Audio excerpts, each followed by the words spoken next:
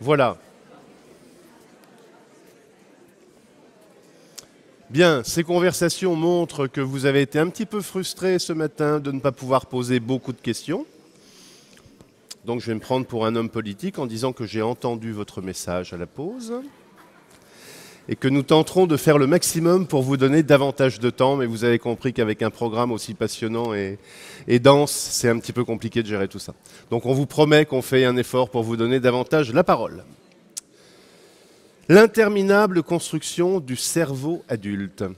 C'est le thème que nous allons aborder dans un instant avec Pierre-Marie Liedot, qui aime utiliser les images. Il y en a une d'ailleurs qui m'a frappé, c'est le cerveau adulte, c'est la Sagrada Familia. C'est joli, non? Pour dire évidemment que comme l'œuvre fantastique commencée par Gaudi, eh ben, le cerveau est lui aussi en perpétuelle construction. Le cerveau, avez-vous dit encore, Pierre-Marie Liedot, se nourrit du changement et se meurt de la routine. L'interminable construction du cerveau adulte, Jean-Pierre-Marie Liedot, pardon, nous vous écoutons.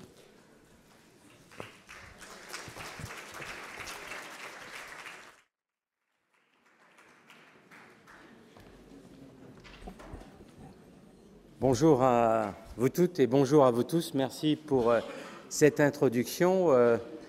Euh, euh, j'ai senti un certain enthousiasme et malheureusement, je ne peux maintenant que vous décevoir. Donc, je ferai quand même mon possible pour partager avec vous une idée simple, une idée selon laquelle nous avons tous effectivement le, le pouvoir, mais on verra que c'est un devoir de reconfigurer notre cerveau en permanence.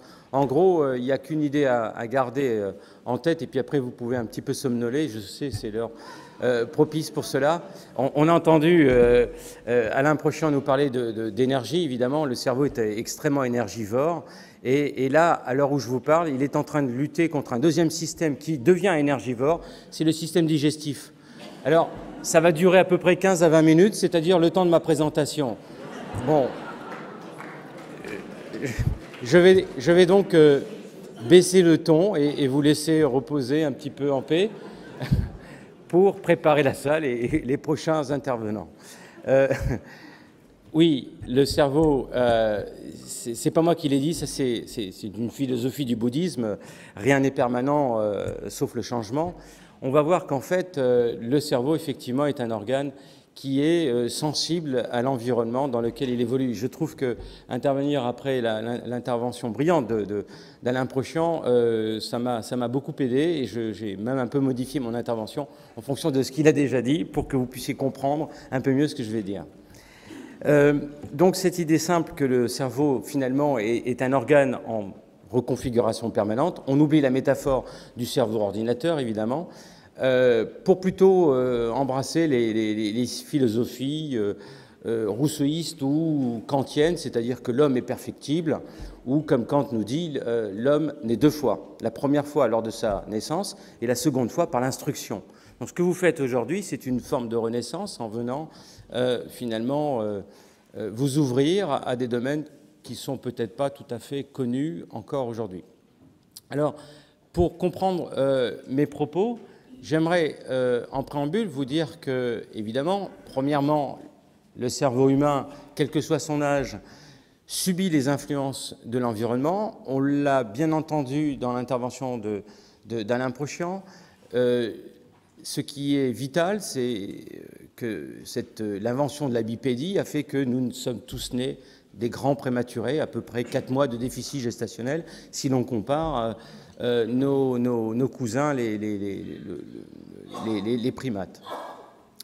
Et donc, euh, euh, ce déficit gestationnel, finalement, qui est en fait au départ un, avatar et un grand handicap, va permettre finalement d'effacer le déterminisme génétique pour laisser place à ce qu'on va appeler la transmission. Donc on quitte l'ordre génétique pour entrer avec l'humain dans une transmission sociale et culturelle.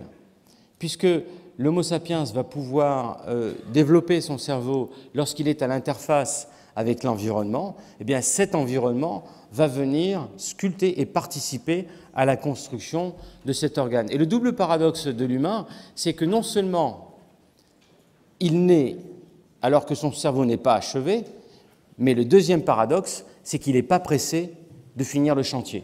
Effectivement, c'est la Sagrada Familia. C'est ça le deuxième paradoxe, c'est ce qu'on appelle la néothénie, c'est-à-dire qu'on va construire notre cerveau, quel que soit notre âge, en permanence euh, en fonction justement des influences que l'on subit dans l'environnement.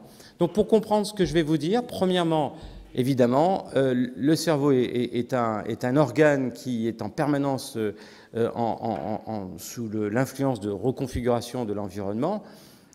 Rappelez-vous ce que nous disait Erasmus, on ne naît pas humain, mais on le devient. Ce devenir de l'humanité, quitter l'animalité, c'est euh, justement subir cette euh, influence sociale et culturelle. Mais deuxièmement, on le sait tous, c'est implicite. Pour que ce cerveau se reconfigure, il a besoin d'informations. Est-ce que je peux avoir en fait le site euh, internet? Je vous montre ici un site qui s'appelle Worldometer. Vous pourrez le consulter ce soir. Il y a plein d'informations précieuses. Euh, c'est un site très sérieux de l'ONU. Et vous avez ici, par exemple, le nombre de mails qui ont envoyés depuis minuit. Vous avez ici le nombre de blogs qui ont été écrits. Vous avez le nombre de... Alors, ce qui est un peu alarmant, c'est le nombre d'ouvrages qui ont été publiés. Vous voyez, ce, chiffre ne bouge pas en haut.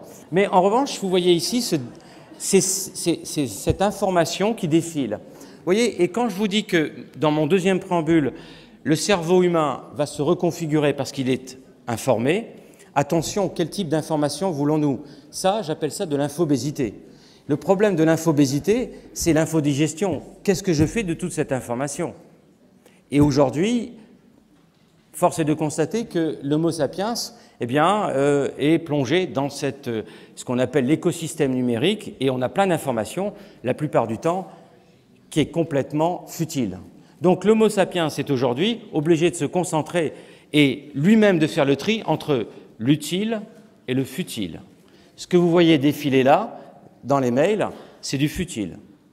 D'accord? Donc on va essayer de voir un petit peu comment il nous faut nous protéger, comment nous devons sélectionner l'information, puisque c'est quand même, vous savez, le fameux questionnaire de Proust, si vous partez sur une île, quel disque emporteriez-vous, quel livre emporteriez-vous avec vous? Ce n'est pas une situation que vous voulez vivre trop longtemps pour votre cerveau. Le cerveau a besoin d'informations et il a besoin de nouveautés. Hein. Comme on, l'a entendu, effectivement, il se détruit de la routine et se nourrit du changement. Donc, il nous faut maintenant nous concentrer sur l'information. Ben, je n'ai pas le temps de rentrer dans les détails. Sachez que l'information permissive qui permet à ce cerveau de se reconfigurer, c'est de l'information qui fait comprendre et pas savoir. C'est la différence entre Arte et TF1, à peu près.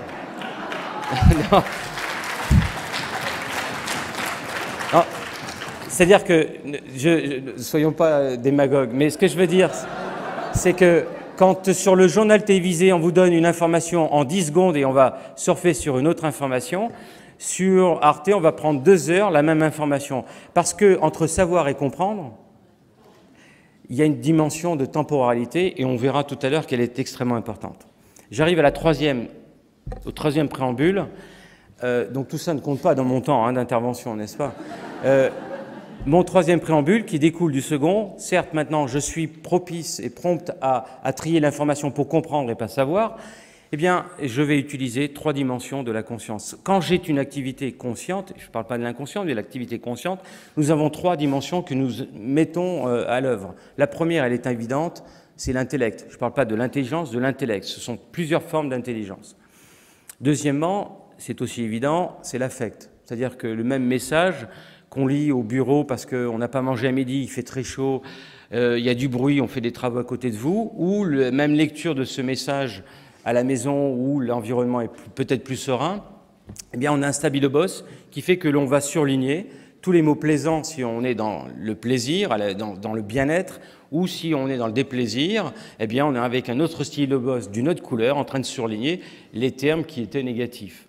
Donc ça, c'est très important parce qu'on le verra tout à l'heure, je vous montrerai quelques exemples de ces, trois dimensions qui sont à l'œuvre pour comprendre l'intellect, l'affect et également euh, les croyances.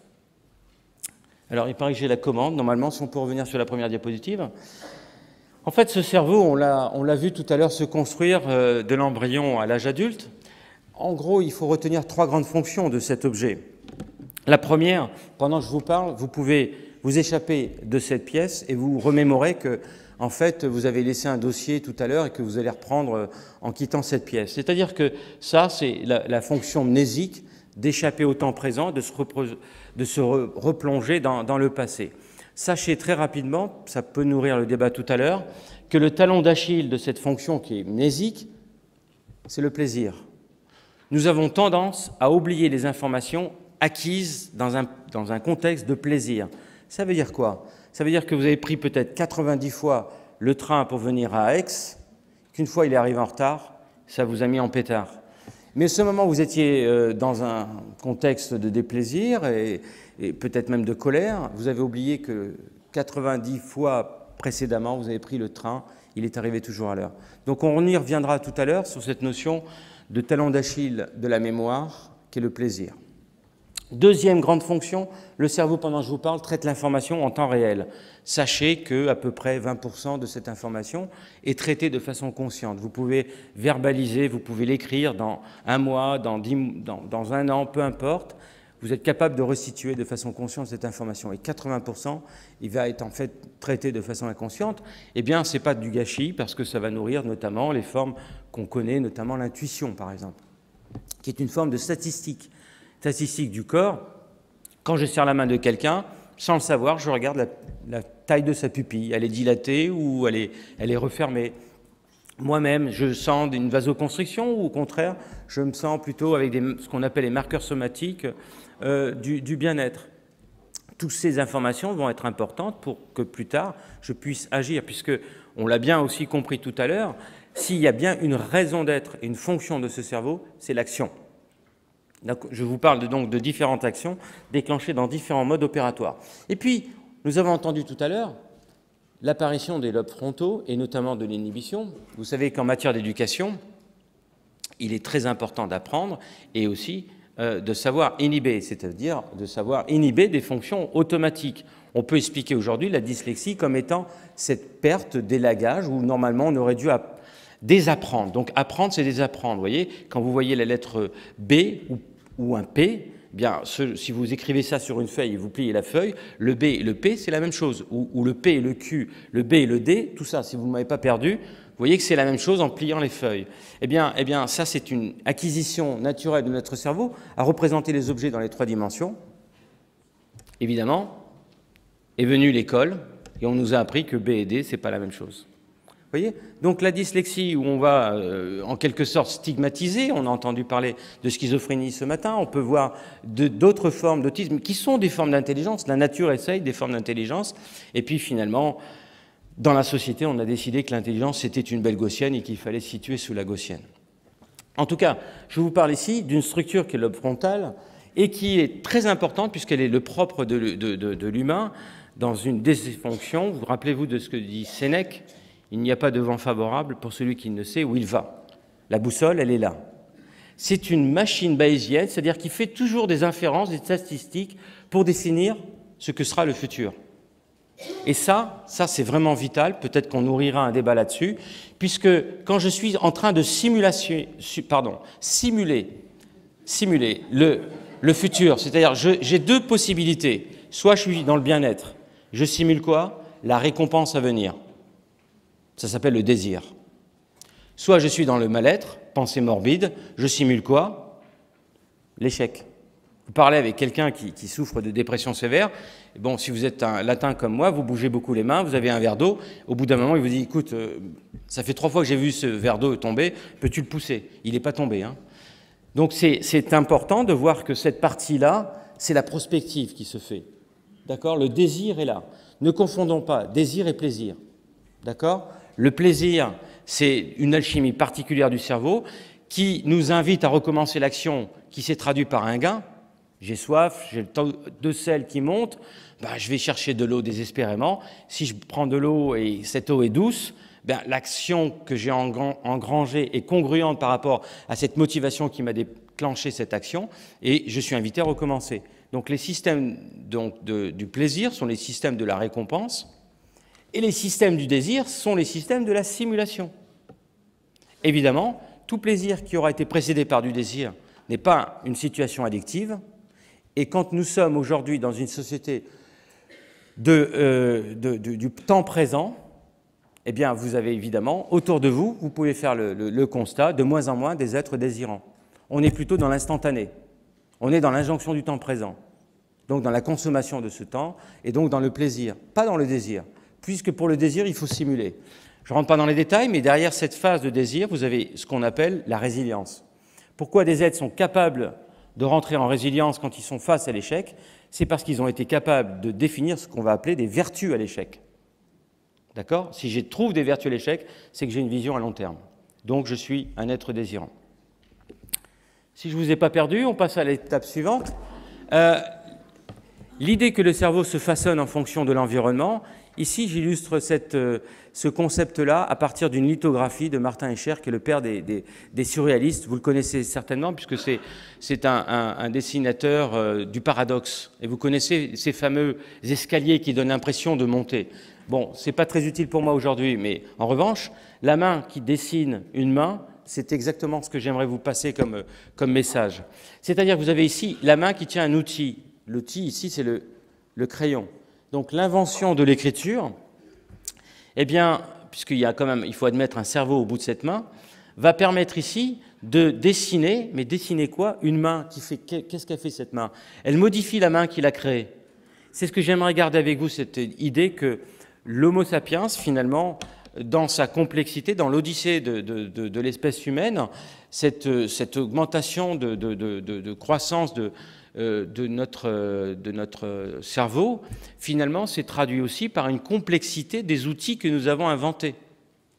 Et à un moment donné, et notamment ici avec l'écriture, l'usage de ces outils, en retour, modifie notre cerveau.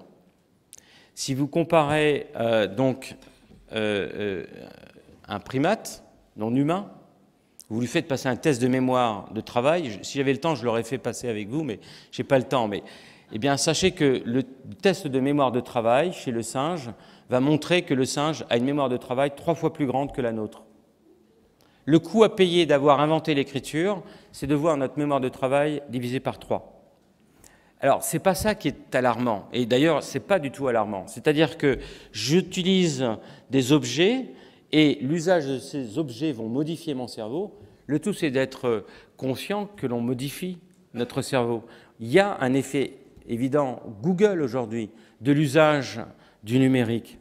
Quand vous testez des sujets, que vous leur montrez des films et que vous leur demandez de répondre aux questions sur le film, et qu'ils ont droit à la mémoire, ce qu'on appelle transactive, deux sujets, et puis deux sujets qui peuvent se parler, donc c'est une mémoire sociale si vous voulez, et la question est quel est le nom de l'acteur principal? Vous avez le droit de dire mais rappelle-toi, on l'a vu dans tel film, il jouait le rôle du méchant, et l'autre de dire ah oui, puis à la fin il meurt, puis à la fin ensemble on dit ah oui c'est Brad Pitt. C'est une mémoire transactive. Quand on demande donc à des sujets de faire appel à cette mémoire transactive et qu'on les convoque un mois plus tard, on s'aperçoit qu'ils ont toujours en mémoire les questions et les réponses. En revanche, quand on fait rentrer euh, des euh, sujets qui vont avoir non plus accès à la mémoire transactive, mais à la mémoire de ce qu'on enfin, à la, connaissance, donc à la noosphère, donc ils vont, euh, ils vont, ils vont surfer, ils vont, ils vont avoir des tablettes sur les, sur les genoux, on, défile les mêmes, on fait défiler les mêmes questions, eh bien, le taux de réponse lorsqu'on a accès au numérique par rapport euh, à la mémoire transactive est un peu meilleur. Donc euh, c'est incrémentiel, on passe de 75 avec la mémoire transactive à 80% de réponses correctes quand on a accès au numérique. Le problème c'est que vous demandez à toutes ces personnes de partir et vous les convoquez un mois plus tard. Ceux qui ont accès au numérique ont oublié les questions. Et comme ils étaient meilleurs pour trouver les réponses, on leur demande si quand même euh, ils se rappellent des réponses quand on leur rappelle les questions, ils sont de l'ordre de 20%. En revanche, on s'aperçoit que quand on leur donne la question et on leur donne la réponse, ils font Ah oui, bien sûr, je me rappelle du chemin que j'ai utilisé, la stratégie, le process, une mémoire procédurale. J'ai développé finalement une mémoire qui n'est plus utile pour retenir la question ni retenir la réponse. J'ai accès en permanence sur la planète à, toute cette information. En revanche, ce qui est important, c'est que quand je serai face à cette même question, que je ne réinvente pas la roue. Donc on voit évidemment que cette mémoire est en train d'évoluer. La question aujourd'hui est de savoir justement comment, quels sont les, principes qui font que notre cerveau subit et se modifie par l'environnement. Et il y a tout ce qu'on appelle dans la, dans la sphère de la santé mentale les troubles de la maladaptation. Le sujet, lui, ne se nourrit plus du changement. Il le subit et ce changement le détruit. Donc là, je fais appel à ce qu'on appelle les troubles de l'humeur. Il y en a quatre l'anxiété, le stress chronique d'abord, l'anxiété, la dépression et le burn-out, qui sont euh, euh, des, pathologies évidemment euh, reliées les unes aux autres. Alors, pour avancer, vous savez que c'est Einstein qui a dit qu'il est plus facile de désintégrer un atome que de vaincre des préjugés.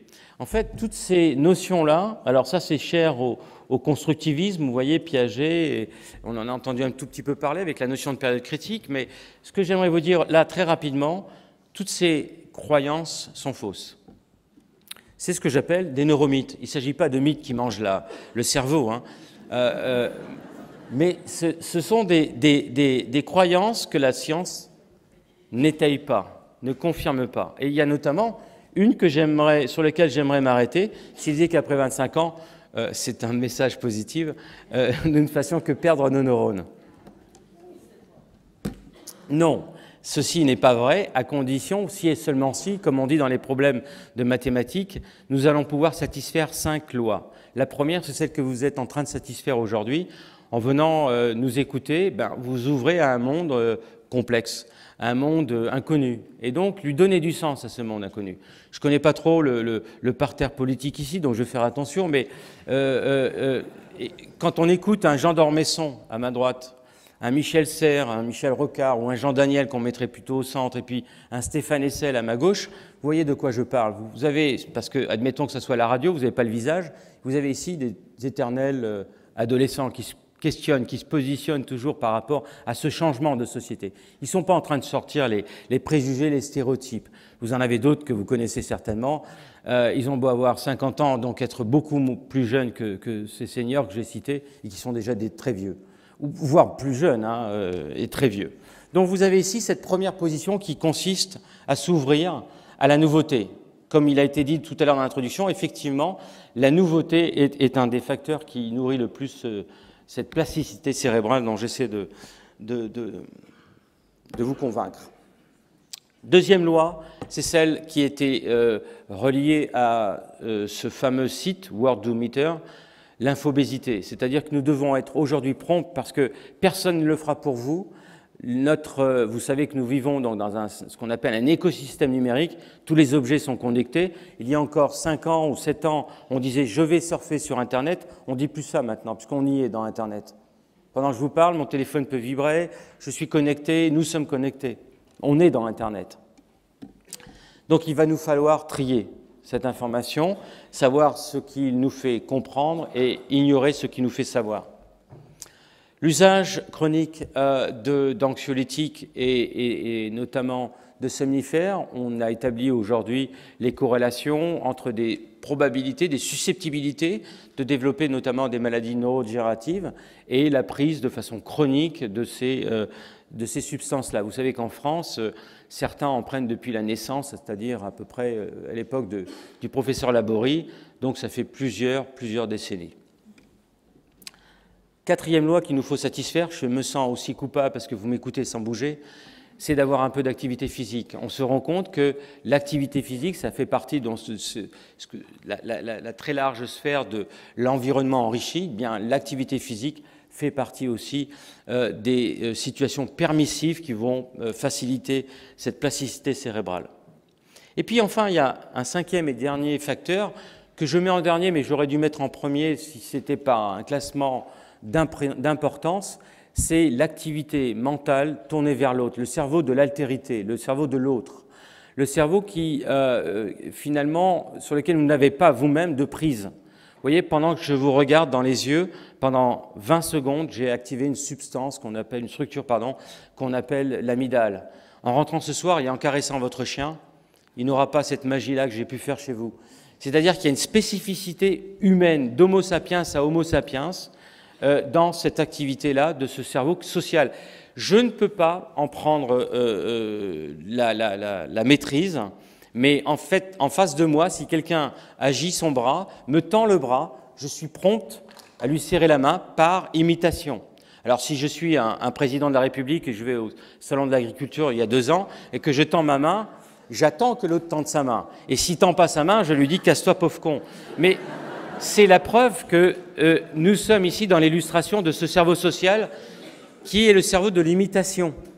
Alors pourquoi sommes-nous des singes? Regardez, j'ai failli être footballeur. Vous avez ici un, joueur de foot qui vient de tirer un penalty euh, euh, et il a raté son penalty. Alors il a mis les mains sur la tête. Je vous ai dit trois dimensions dans mon préambule. Ça, c'est le cerveau des croyances. C'est une divinité. On le fait tous. Hein. Quand on est dans l'échec, on protège sa, tête parce que c'est ce qu'on a de plus noble. Euh, enfin, quoique Woody Allen nous dit que c'est ah oui, le cerveau, c'est mon deuxième organe le plus noble. Je vous laisse deviner. Je vous laisse deviner où, où, Woody Allen mettrait les mains. Mais, mais donc le, ici, c'est euh, l'illustration du cerveau des croyances. Hein. Je, personne ne m'a instruit, personne ne m'a dit, mais je fais cela parce que voilà, je vais avoir une divinité qui va venir me punir. Mais ce qui est intéressant, c'est que les autres qui le regardent, ils ont tous, ils ont tous la tête, pardon, pas la tête sur les mains, mais la main sur les têtes. Et pourquoi? Parce qu'ils sont dans l'imitation, ce qu'on appelle une imitation euh, euh, comportementale, mais qui va au-delà de cette imitation comportementale. C'est-à-dire qu'après une, deux secondes d'avoir imité parfaitement le geste, ces individus qui sont en face, on peut mesurer leur rythme cardiaque qui s'emballe. Et oui, ils vont rentrer non plus dans une imitation comportementale, mais dans une imitation émotionnelle. On est dans une résonance émotionnelle. C'est-à-dire qu'ici, finalement, moi aussi, je suis déçu d'avoir raté mon penalty, même si je n'ai pas tiré. Et pourquoi je suis prompt à faire cela? Parce que je suis un homo sapiens en face d'un homo sapiens. Mais il y a, je vous ai dit, une spécificité. Il y a le chien qui ne marchera pas, il y a l'homo sapiens qui marchera. Mais il y a autre chose. Ça va m'aider si je porte un maillot rouge et que l'autre qui a tiré est un maillot rouge. Je suis là parce que j'ai défini l'autre comme un ami. Si vous voulez tester quelqu'un avec qui vous parlez, croisez les bras, touchez-vous le menton, touchez-vous l'oreille. Dans quelques secondes, s'il fait la même chose, c'est bon, il est en train de vous suivre, il a compris et il est d'accord. Mais vous en avez vu deux qui n'ont pas les mains sur la tête.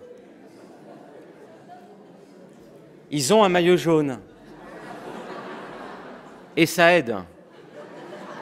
C'est-à-dire que le fait... Non mais... Je ne voudrais pas vous faire rigoler aujourd'hui. C'est sérieux ce que je vous dis là.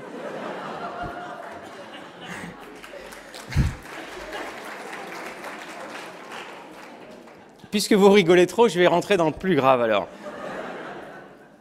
Le fait d'avoir porté un maillot jaune a inhibé un, automatisme de ce cerveau, de se mettre dans ce que j'ai dit, l'empathie. Enfin, quand j'ai parlé de résonance émotionnelle, vous aviez compris que donc la magie du cerveau de l'Homo sapiens, c'est de se mettre dans la peau de l'autre. Vous voyez? Ça va très loin. Ça va jusqu'à, par exemple, faire qu'on va, sécréter des jugements moraux. Voilà, là, je ne vous fais plus rien. Pourquoi? Parce que si je vous vois courir devant moi et vous tomber, je tends ma main pour vous relever. J'ai vu le, genou un peu euh, ensanglanté, mais finalement, ce n'est pas un geste aussi altruistique que vous pourriez penser. Je me relève moi-même. En revanche, si je vous ai vu arracher un sac à main dix secondes avant, courir et tomber devant moi, est-ce que je vous tends la main? Non, il y a peu de chances je mettrai probablement mon pied sur votre dos en attendant que la, police arrive. J'ai sécrété, j'ai produit un jugement de valeur. Et donc, la possibilité que le cerveau ait cette capacité d'imitation de ce qu'on appelle le cerveau social, ça a été très loin puisque ça a permis donc d'avoir des jugements moraux. Et la possibilité de produire des jugements moraux, c'est mon point de vue, ça ouvrira un débat, c'est à l'origine des religions monothéistes. Que ce soit la Torah, le Coran ou la Bible, prenez les dix commandements, c'est exactement l'illustration. À chaque fois, tu ne feras pas à l'autre que tu veux pas qu'on te fasse. C'est l'illustration de ce cerveau social. J'étais sûr que je vous ferais moins rire. Cinq minutes, j'ai fini mon introduction. Hein. Bon, alors on va passer tout ça. Euh, pour vous dire que bon, j'avais passé des diapos pour vous dire qu'il y a différents étages. Effectivement, on a fait l'analogie avec la, Sagrada Familia, mais simplement pour vous dire que le cerveau, c'est une cathédrale, mais qui est quand même construite sur une église romane. Et donc, à l'intérieur de notre cerveau, il y a des parties qui vont gérer des fonctions vitales. Ça, c'est ce qu'on pourrait qualifier d'intelligence automatique. Pendant que je vous parle, si je mets ma main sur une punaise, je la retire immédiatement, je n'ai pas besoin d'aller à l'école pour cela. Cette plasticité cérébrale n'a pas lieu ici. Euh, l'avantage de cette fonction, de ce, module, c'est d'engager des, actions rapides, mais pas forcément fiables. Ensuite, on a un deuxième étage qui va faire qu'on va, on va être capable de s'émouvoir, on va voir apparaître la mémoire, mais j'aimerais arriver plutôt euh, au grenier et au cortex, dont on a entendu effectivement tout à l'heure parler, et là vous montrer que par exemple, quand un enfant eh bien, euh, s'inscrit euh, dans un conservatoire, qu'il a 7 ans, et puis qu'on l'invite euh, 7 ans plus tard, eh bien, on s'aperçoit que la pratique musicale a fait que deux aires de son cortex, finalement, se sont enchaînées. Ils travaillent ensemble et sont synchronisés. Ici, on a l'air de l'audition, et puis on a la planification du geste. Bon, rien d'extraordinaire. Ils avaient entre 7 et 14 ans.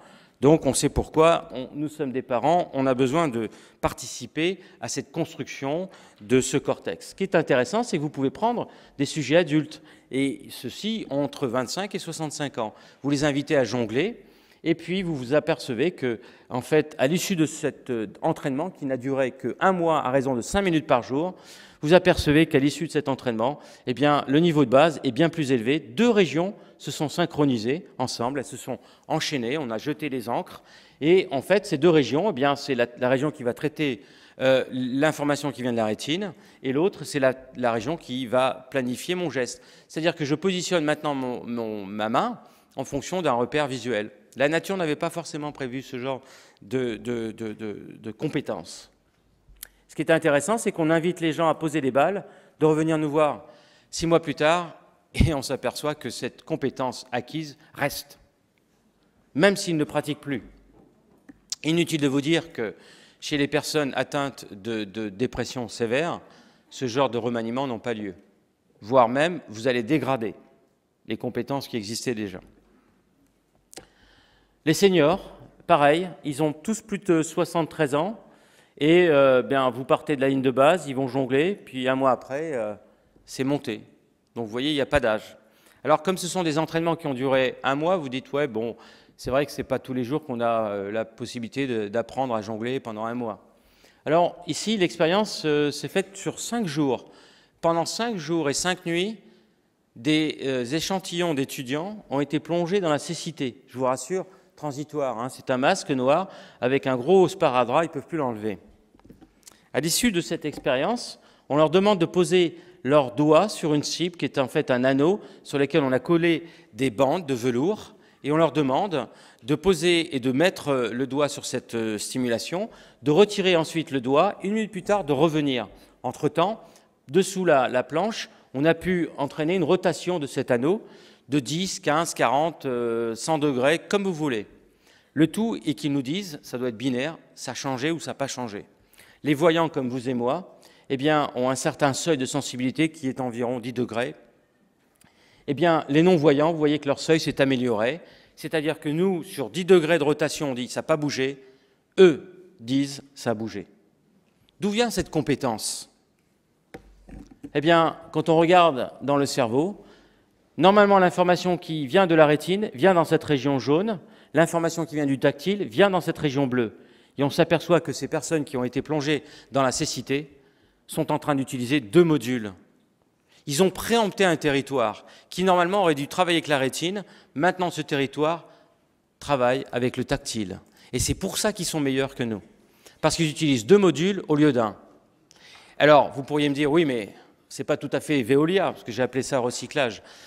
Euh, euh, c'est-à-dire qu'en fait, on a basculé une fonction d'une autre, hein, ce qu'on appelle en, évolution l'exaptation, détourner une fonction pour une autre. C'est pas tout à fait ça, parce que dès que vous enlevez le masque, pourriez penser que ces, ces circuits-là qui maintenant vont travailler avec le tactile, l'acuité visuelle a diminué. Pas du tout. Donc c'est vraiment un gain supplémentaire. Vous voyez, un gain, évidemment, parce que ce sont des sujets qui ont été notamment porteurs de désir. Ils avaient envie de s'en sortir pendant cinq jours et cinq nuits. Le taxi, il est devenu important. Je dois trouver euh, de quoi manger, etc. J'en suis où dans le temps? J'ai fini C'est presque fini. Bon, on va, on va avancer alors. Euh, bah, je vais terminer là. alors on revient en arrière. Juste deux diapositives et on s'arrête, parce qu'il faut que je... Euh, je vous ai parlé de l'alchimie du bonheur et du, bien-être et du mal-être, d'accord? Ici, on peut démarrer le film, s'il vous plaît, parce que sinon, la montant est déjà mangé sur ces diapositives. On a un, neurone qui, euh, à quatre semaines, vous voyez, par ce halo lumineux, il a, il a euh, une substance est introduite et on sait qu'il a quatre semaines.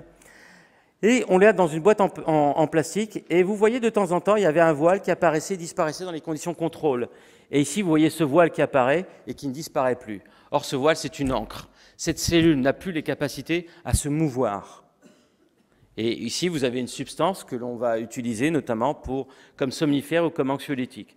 Ici, vous avez euh, un voile qui va apparaître tellement rapidement que vous avez peu de temps, vous allez le voir très peu. C'est-à-dire que dans ces conditions-là, on a une cellule qui est capable de naviguer très rapidement dans, alors dans une boîte ici en plastique, hein, puisqu'on l'a su avec une caméra, mais on peut imaginer dans le cerveau. Donc vous voyez ici l'influence du mal-être et du bien-être euh, dans euh, les premières étapes euh, d'une plasticité cérébrale qui pourrait être sous-tendue par l'arrivée de nouveaux neurones.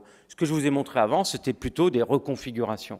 Mais on s'aperçoit aujourd'hui que, quel que soit l'âge, dans certaines régions bien précises euh, euh, chez l'homme, il existe cette fontaine de jouvence qui produit des nouveaux neurones en permanence. À quoi ça sert Et c'est là où je m'arrêterai en ce moment. Eh bien, euh, ici, on a, fait passer des tests. Alors, ce sont des, sujets dépressifs. Hein. Ils sont standards, mais ils ne viennent pas aux tables de l'Arbois. donc, ils sont dépressifs et on leur fait passer un test très simple. Ils doivent nous regarder dans les yeux, on leur pose des questions, puis euh, on a derrière un, miroir euh, avec un fond teinté et on mesure le déplacement oculaire qui va pour nous témoigner de l'intérêt, de la curiosité qu'ils portent à une nouvelle stimulation qui est appelée ici S1. Et cette stimulation est très simple. Pendant deux minutes, on a, on a un interview, puis on fait passer un bip sonore. Bip Puis on recommence. Dix minutes plus tard, le sujet est convoqué. Bip Donc vous voyez ici l'intérêt, c'est-à-dire les mouvements oculaires, l'intérêt diminué. Ça, ça s'appelle l'ennui. Quand vous mangez toujours euh, avec la même personne, le même plateau repas, en face, du journal télévisé TF1, c'est ça. Mais, mais, au bout d'un cinq ou six fois, on va changer la fréquence, mais pas l'intensité. C'est subtil comme changement. Au lieu de faire bip, on fait buzz, le sujet qui a perdu sa plasticité cérébrale, vous voyez, n'est pas prompt à réagir à la nouveauté. Il ne la voit pas, la nouveauté. Il est dans l'ennui, et pour lui, maintenant, il a catégorisé ce signal ennui. C'est du bruit.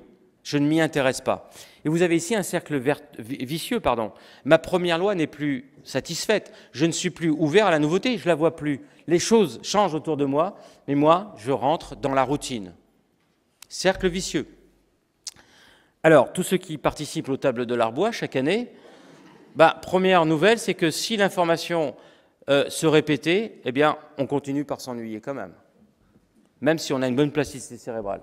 Mais ce qui est intéressant, c'est quand on va faire ce changement subtil de fréquence, je ne parle pas de changer la modalité sensorielle. On aurait pu passer de l'auditif à un pulse, de, une aire euh, pulsée odorante ou euh, caresser avec une plume ou quoi que ce soit juste changer de fréquence. Bip, bip, bip, buzz, la personne a détecté le changement et porte un intérêt qui est aussi grand qu'elle a porté la, première fois. Ici, elle se nourrit du changement. Vous voyez ici donc un cercle finalement qui va être vertueux parce que parce que j'ai une bonne plasticité cérébrale, je suis prompte à discriminer, enfin un mot barbare, mais à reconnaître euh, des informations qui pourraient être semblables, mais je les, j'arrive à dire qu'elles sont différentes. Et le fait que je puisse percevoir un monde qui change va produire, va faciliter cette plasticité. Voilà. Euh, on va quitter tout ça, c'est pas utile, c'était des tests que je voulais faire chez vous, mais euh, je reviendrai. Euh, c'est pas la peine, oui, j'avais prévu deux heures, enfin, on, avait dit deux heures pour mon intervention. Mais j'aimerais terminer sur Goethe, voilà. Traitez les gens comme s'ils étaient ce qu'ils devraient être, et vous les aiderez ainsi à devenir ce qu'ils peuvent être.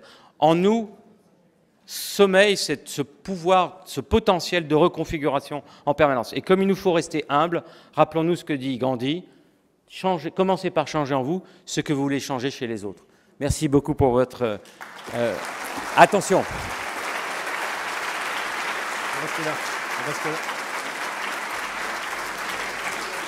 Venez, on va s'asseoir. Voilà. Et eh ben voilà.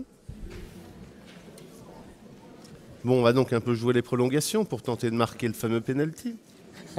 Pierre-Marie Liedo, euh, quelques questions. Alors on, y va assez rapidement, voilà. On enchaîne vite. Oui Ah non, finalement. Ici.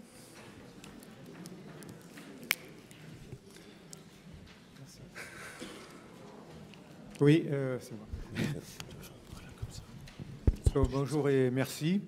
Euh, encore une fois, de, cette présentation. Euh, c'est pour la naissance de, euh, de la civilisation monothéiste, les, valeurs. Et dans la civilisation indienne, par exemple, qu'est-ce qui s'est passé? Puisque là, il y, a, il y, a, une multitude de dieux. Les valeurs sont à peu près les mêmes. Dans le Coran, on lit si tu violes une femme, épouse-la. Si tu ne peux pas l'épouser, dédommage-la. Et je vois qu'en Inde, le viol devient, était sans doute déjà quelque chose de, commun. Donc euh, il y a des valeurs négatives qui se retrouvent un peu partout. Et donc quelle est la différence qu'on peut trouver dans, ces deux naissances? Alors là, on rentre dans un domaine qui n'est pas le mien, euh, donc je préfère montrer mes limites de la connaissance et au-delà duquel je serai euh, pas à l'aise. en revanche, donc dire que l'expression de ce cerveau social qui est prompt à imiter pour partager euh, les émotions et donc pour partager la douleur, euh, ça c'est quelque chose qui est universellement partagé. Alors après on sait que les défauts de ce système-là ben, sont notamment, on les voit euh, chez l'enfant autiste. Qui peuvent être compensés, qui peuvent être compensés quand je vous parle de, la mise en place de ce système de cerveau social, eh bien, il y a des influences euh, sociales ou sociétales, et je pense que votre question est, plutôt dans ce domaine-là, mais il y a aussi des influences euh, de l'apprentissage, c'est-à-dire que nous, très petits, avant, on nous dit qu'au commencement était le verbe, eh bien non, en fait, on a appris un langage non verbal avant le verbe.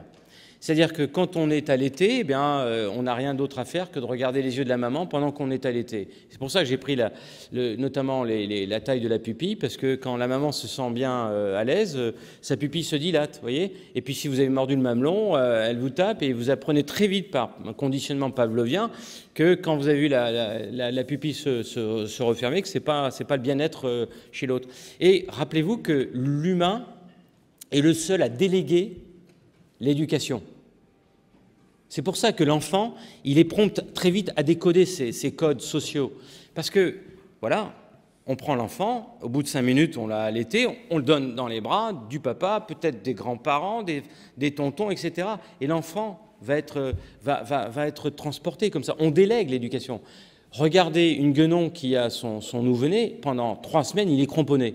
Et il sera jamais ailleurs que sur la maman l'enfant, il doit passer de bras en bras. Et donc, il va très vite apprendre ce langage, qui est un langage non verbal, mais c'est par imitation qu'il va apprendre le verbe d'ailleurs, euh, et, décrypter tous ces, tous ces signaux-là.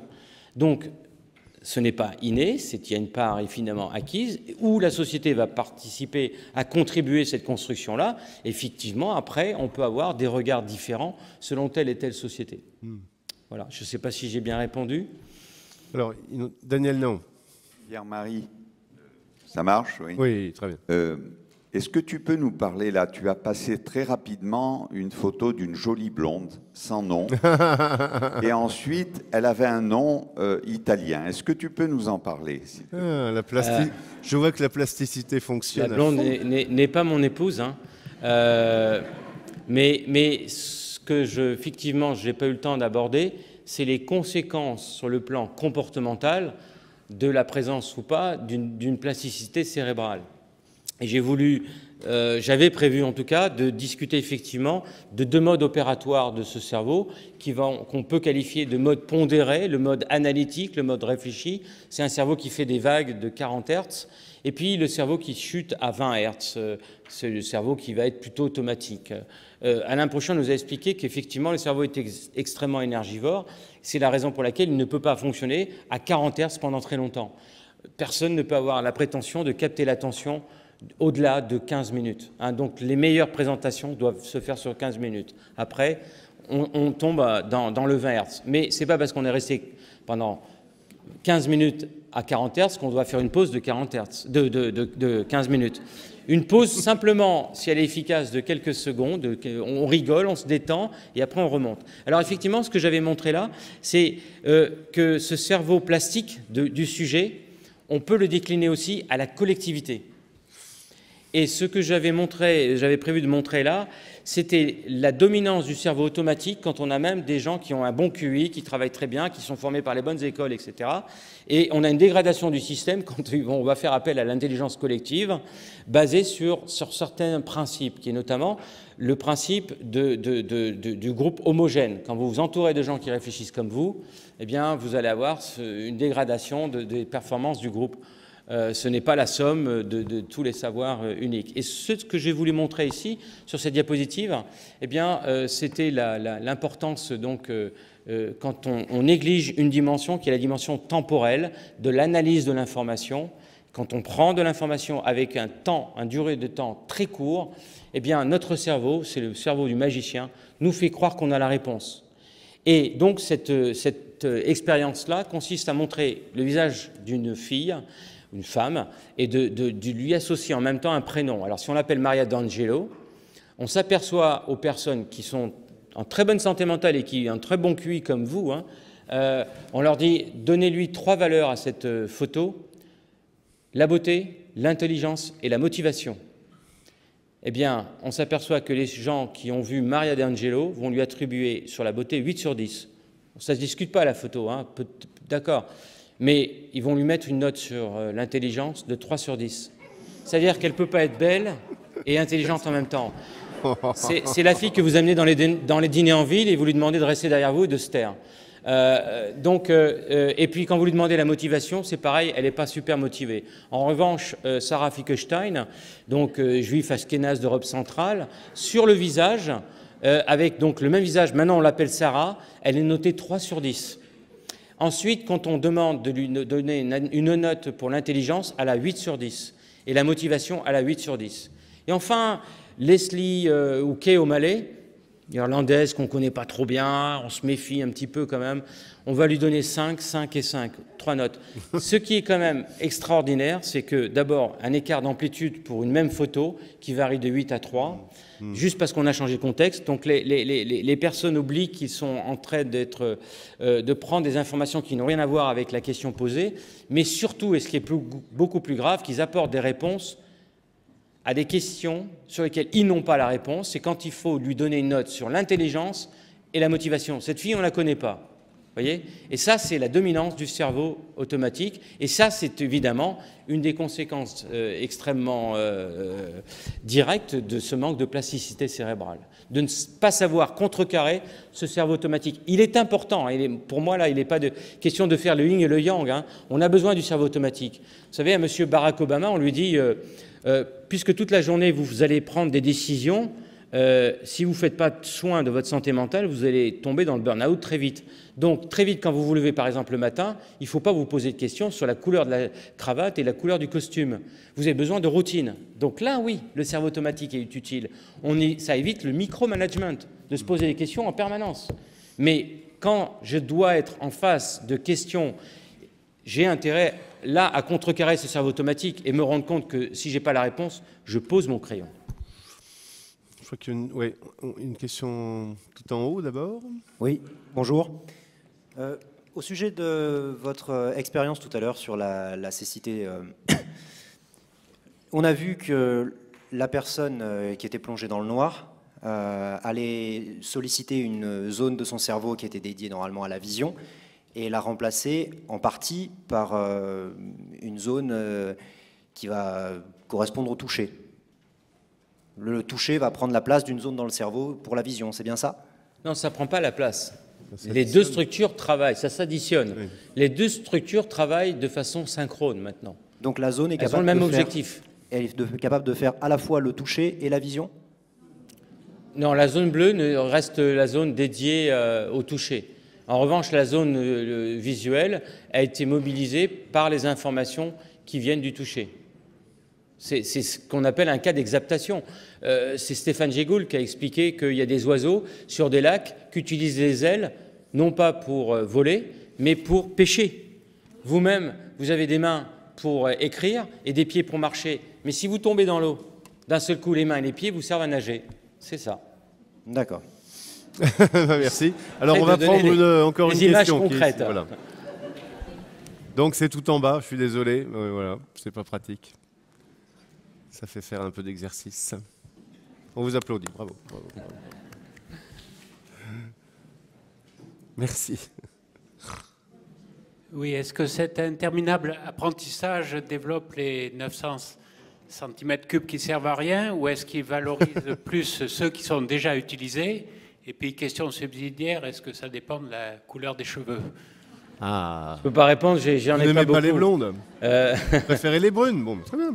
euh, mais je me souviens plus de la première question en fait, j'ai déjà oublié. Alors, est-ce que la plasticité sert euh, ce que disait Alain Prochian ce matin, c'est-à-dire les 900 euh, grammes de cerveau qu'on a en trop quoi, par rapport au singe? Non, ce qui est intéressant, c'est que l'Homo sapiens, il est le seul à inventer des outils qui changent radicalement l'écosystème dans lequel il évolue. Est-ce qu'il y a une autre espèce sur la planète capable de changer de saison en 5 ou 6 heures? Aucune, à part l'Homo sapiens, qui a inventé une machine qu'on appelle l'avion. Et si vous franchissez l'équateur, bah, vous changez, vous quittez euh, Aix ou Marseille euh, en hiver, vous, pouvez vous, retrouver, si vous allez à La Réunion, euh, en été. Voyez? Donc l'Homo sapiens est le seul à créer du changement autour de lui, mais, radical, hein, radical. Pensez euh, finalement, pour avoir une image euh, concrète, euh, de la reine rouge. Vous savez, il y a un moment donné, il y a une tasse de thé qui arrive à la hauteur de la reine rouge et qui lui dit Ma reine, ma reine, vous savez, dans Lewis Carroll, Alice au, pays des merveilles, pourquoi courez-vous? Et elle dit euh, La reine, euh, bah, je cours pour rester sur place. Parce qu'à côté d'elle, on a aussi les tables, les armoires et, les chaises qui, se déplacent. C'est la condition dans laquelle l'humain est plongé aujourd'hui. C'est le mythe de Sisyphe revisité. Le rocher qu'il faut remonter en permanence sur, la cime, c'est de garder la plasticité cérébrale à l'image de la, euh, dynamique dans enfin, de la dynamique de l'environnement que nous produisons nous-mêmes. Donc, est-ce que c'est, ça, c'est vraiment une question. Je n'ai pas la réponse. Est-ce que ce, ces, quelques centimètres cubes en plus que nous avons, que nous ne devrions pas avoir, c'est eux qui ont permis justement cette complexité. On a, affaire à des, processus qui ne sont pas évidemment euh, linéaires, quoi. Et donc euh, quelques, structures qui vont être utilisées à autre chose, etc. Et puis vous avez de suite euh, des outils qui sont voilà, impressionnants. Merci Steve Jobs qui fait que les, versions de nos applications, etc., tous les six mois, il faut les, il faut les remplacer. Donc vous voyez, c'est une condition, l'homme moderne est condamné à vivre dans le changement.